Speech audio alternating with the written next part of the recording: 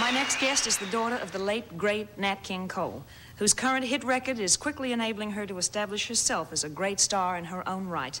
Would you welcome with me Natalie Cole?